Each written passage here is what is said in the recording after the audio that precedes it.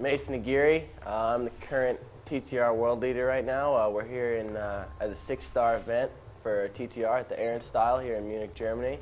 Um, I'm doing the uh, rookie session. Uh, it's a little bit unfortunate because my boy Danny Davis just bumped me out of the top five last year in TTR in the sixth place, but I'm going to be rooting for my boys Danny and Kevin uh, in the contest, and it's going to be a lot of fun. And uh, if you end up not making it to the stadium to watch the contest, check out TTRWorldTour.com for the live feed. Enjoy it.